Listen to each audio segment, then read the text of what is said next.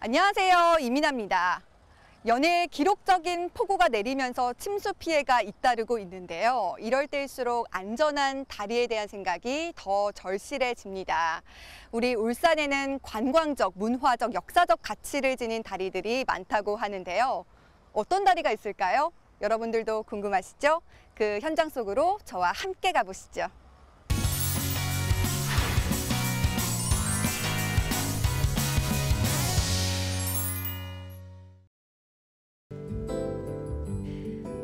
울산의 남북을 가르며 흐르는 태화강. 옛날엔 이 태화강을 건너는 것도 쉽지 않은 일이었습니다. 저는 이게 강물을 볼 때마다 느껴지는 궁금증이에요, 선생님. 이렇게 물이 많은데 옛날에는 이 강물을 어떻게 건넜을까 그런 의문이 들거든요. 어, 예, 어땠을까요? 옛날에 이제 뭐 옛날에 언제가 될지 모르지만 이제 아주 옛날에는 이래 주로 이래 중하루에는 나룻배로 많이 건넜잖아요. 나룻배. 배로. 예, 나룻배를 지어가지고 이래 네. 건너다니고 조금 이제 머리가 좀 멀면 섭다리 같은 거, 징금다리 같은 거 있잖아요. 아. 징금다리 돌 놓고 다니 건너다니는 징금다리 이제 섭다리라 그래가지고 이 나무를 박아가지고 네. 위에 이제 흙을 깔아가지고 이 섭으로 이래 이제 밑에 이제 쭉 덮어가지고 이래 흙을 깔아서 왔다 갔다 하는 섭다리가 옛날에 곳곳에 많았어요. 그런데 오늘 이곳에는 왜 오자고 하신 거예요? 어, 오늘 온 거는 이제 또 우리 다리 이야기를 하기 위해서. 다리 이야기. 울산의 다리 이야기. 울산의 다리 이야기. 예, 예. 울산의 오. 다리가 한 10개 좀 되잖아요. 이제 네, 10개. 선생님께서 소개해 주시고 싶은 다리가 예. 혹시 있으세요? 예, 예. 뭐 우선 소개시면 다리가 여기 이제 우리 그 우리 사모교. 사모교. 이야기를 먼저 하고 싶네요. 울산의 초입 3호엔 다리가 유난히 많은데요. 모양도 제각각입니다. 이곳에 집중적으로 다리가 놓인 이유 여러분도 궁금하시죠? 그런데 여기 앞에만 보더라도 다리가 예. 세 개가 모여 있거든요. 예, 예. 그런 경우가 좀 드물 것 같은데 왜 그런 거예요? 예, 예. 그건 뭐 제가 잘 알지요. 옛날에 여기 근처 살았으니까. 아 그래요? 예, 네. 이 다리가 1924년에 이제 다리 저 구사모교, 구사모교. 가운데 게 구사모교고 그다음에 요 가까운데 요 진짜 사모교. 아, 1959년에 이제 저 다리가 만들어졌어요.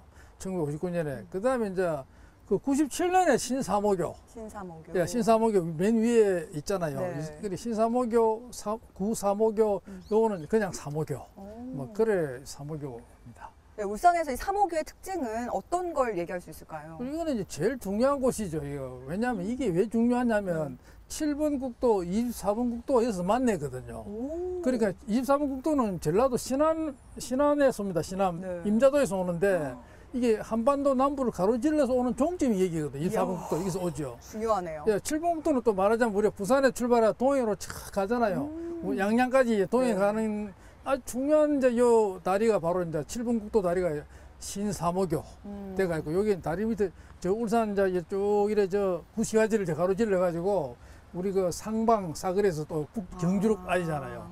우리나라의 가장 중요한 도로 중에 하나 7번 국도가 바로 이 다리입니다. 아, 이곳 사모교가 왜 세 개가 있었는지 항상 예. 궁금했거든요. 예, 예. 교통의 요충지기 때문에 그랬구나. 예. 이런 사실을 또 예. 오늘 알 수 있었네요, 선생님. 예, 예, 그렇죠. 네. 울산 최초의 콘크리트 다리 3호교. 울산뿐만 아니라 전국적인 경사요 볼거리였는데요. 최초로 이 다리를 건넌 사람도 특별히 선정된 삼부자였답니다. 이 다리는 역사가 있어요. 우리가 1924년에 그 다리 준공 때 상세한 기록이 나와 있거든요. 그래서 1924년 5월 22일 날 이 다리를 준공했습니다. 네. 그날 그, 그 말하자면 그 울산 시민들 6천 명이 모여가지고 울산 군민들 그리고 그 다리를 또 맨 처음 초도라 그래 초도 처음으로 건너가신 분이 조성화 가족입니다. 조성화 가족. 어떤 그분이- 분이신데요? 그분이 이제 울산에서 가장 존경받는 분. 그분이 원래 독립운동을 하신 분인데 그 울산 학생동에 계시는 분인데 이제 한일 합방이 되고 난 다음에는 이제 뭐 이래 그냥 막 평범하게 사셨는데 그분이 이제 그 삼부자 음. 본인과 그 아들 둘이가 다 이래 잘 돼가지고 부부가 다 있어요. 음. 그래서 그분들 여섯 분이 삼부자가 건너왔어요. 맨 네. 처음 건너와서 테이프 카팅을 하고 네. 건너와서 그 초도 가족 그걸 이제 천가 천부라 그래. 어. 하늘에서 본- 내려준 가정이고 하늘에서 내린 자기 부인이고 그래가지고 이 그분들이 건너면 다리가 영원히 오래 간다. 어. 그래서 그- 그런 행사를 그 의식을 했습니다. 물론 행사 뭐 군수 축사라든지 도지사도 오고 막 그랬어요. 했지만 그런 기록이 확실하게 신문에 그 시대일보에 나와 있거든요. 네. 근데 그건 그 소중합니다. 다리가 어떻게 만들어졌다. 이 기사만 봐도 이 다리가 얼마나 중요했는지 짐작함을 텐데요. 다 그럴 만한 이유가 있었습니다. 물론 이 다리는 이제 1915년에 나무 다리가 있었는데 그때 이제 얼면인 홍수에 다리가 확 떠내려 가 버렸어요. 요 자리에 이제 나무 다리 목교가 있었는데 네. 그래서 1924년에 이제 그 세면 콘크리트 다리를 놔가지고 참 신경쓰가 잘 나가지고 지금까지도 이래 사람들이 건너다니고 전혀 흠이 가지 않고 삼부자가 최초로 걸은 다리 위를 저도 한번 걸어봤습니다. 그런데 오늘 구 3호교회는 왜 오자고 하신 거예요? 어 이게 이제 여 우리 근대 문화유산 아, 근대 문화. 예 근대 문화유산 이걸 이제 보기 위해서 그러네요. 예. 뭐가 적혀 있는데 예. 동국문화재 제 예. 104호 울산 구 3호 오 근대 문화유산으로 지정이 되어 있나 봐요. 예, 예, 맞습니다. 이 근대 문화유산입니다. 이 다리가. 오. 이 다리가 이제 왜냐 이게 다리가 참 잘 만든 다리거든요. 왜요? 지금 한번 보세요. 첫째가 튼튼해요. 튼튼. 지금 다리가 전혀 이래 내려앉은 데가 없잖아요. 교각이 쭉 다 이래 튼튼하게 네. 있고. 이게 이제 그 100년이 거의 다 됐습니다. 음. 그리 1924년에 이제 준공을 했으니까 뭐 거의 100년이 다 된 다리지만 전혀 뭐 이상이 없고 음. 또 다리가 아름답고 맞아요. 다리가 참 아름답잖아요. 그리고 다리가 친환경적이 친수적이잖아요. 친수적. 다리 이게 이 난간을 한번 보세요. 다 네. 사람이 내- 내려다 볼 수 있잖아요. 음. 이렇게 이제 그런 어떤 그. 사람의 생활의 그 편의라든지 즐거움을 네. 고려해서 만든 다리라는 게 또 확인이 됩니다. 야. 삼호교만큼이나 유명한 다리가 또 하나 탄생했습니다. 바로 이해교인데요. 처음 들어보시죠?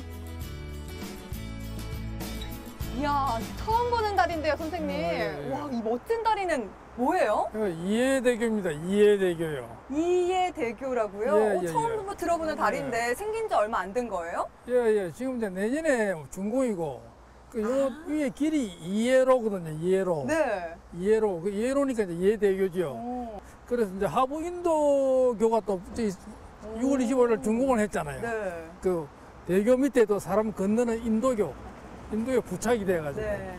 했고. 그리고 요거는 이제 길이가 385m쯤 돼요. 이해대교는. 그리고 요 산이 3호산이거든요. 3호산. 이 산이 천안 명당이라 그래요. 음. 옛날에 성지에서 와서 그 천안 명당, 명당이라고 그런 산이고, 저거는 네오산이라고 자라머리라고 이제 네오산, 자라머리 산이죠. 네. 그래서 아주 명당과 명당을 연결해 가지고 그래서 이제 이해대교가 놓인 겁니다. 이해?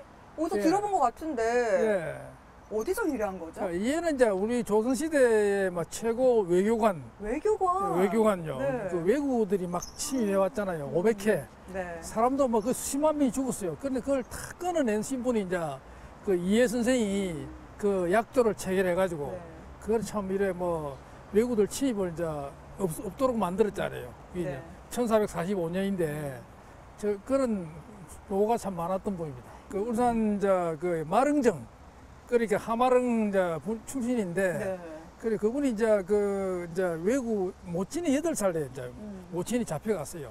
그래서 그 일본의 그 기록 보면 재밌는 게 있어요. 자기 모친이 외국에 잡혀갔으니까 일본의 그 쇼군이나 대마도주를 만날 때 그 이야기를 했대요.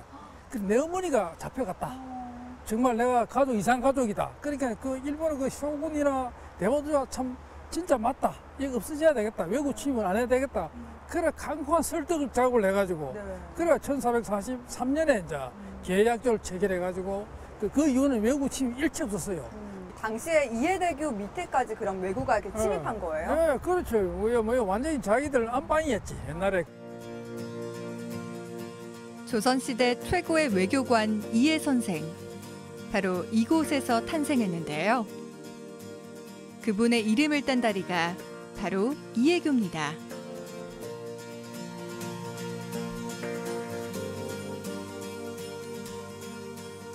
아 그렇다면 이 이해대교가 이해 선생님께서 사시던 그 동네에 생긴 다리인 거네요? 어, 그렇지. 결과적으로 그래 됐는데 원래는 이 옥동 농소간 도로거든요. 네. 그 이해로인데 이해로가 이제 타이 뭐 요인이 지나다 보니까 이제 이해 그 마릉정 말 위를 지나게 됐지요. 뭐 그런 이상하게 그런 인연이 그래 된 겁니다. 이해교에서 보는 태화강은 어떨지 한번 올라가 봤는데요. 처음 보는 다리의 장중함과 위험이 남달랐습니다.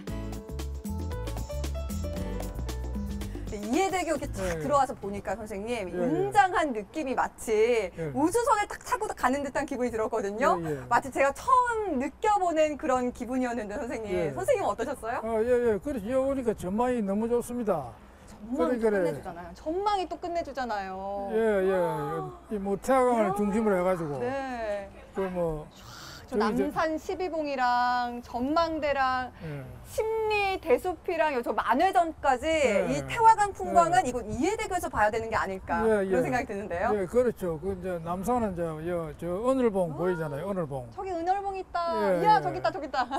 예, 예. 이 주변 절경은 옛날부터 유명했나 봐요. 예, 그렇죠. 옛날에 울주팔경이라고 그래가지고 오. 우리가 정포 선생가 시를 여덟 수를 남겼는데 네. 그 여덟 곳 중에 이제 말하자면 여기에 이제 언을봉, 은월봉. 그 일봉, 일경이잖아요. 네. 또 하나 경치가 장춘호라고 봄을 숨기는 언덕이다. 아. 저기 이제 그 동백꽃, 뭐 네. 차나무, 뭐 이래 참 겨울에도 그 꽃이 피는 곳이다. 음. 그것이 바로 이제 뭐저 우리 저 양숙이 저 타, 우리 태양 전망대 뒤쪽에 음. 그쪽에 이제 옛날에 그 이래 참 아름다운 곳이 있었어요.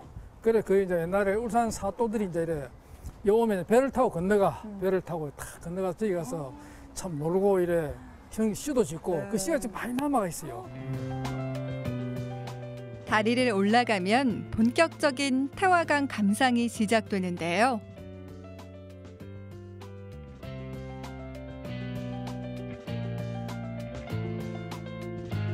바닥에 보이는 이것. 시퍼런 태화강 물이 가장 먼저 눈에 들어옵니다.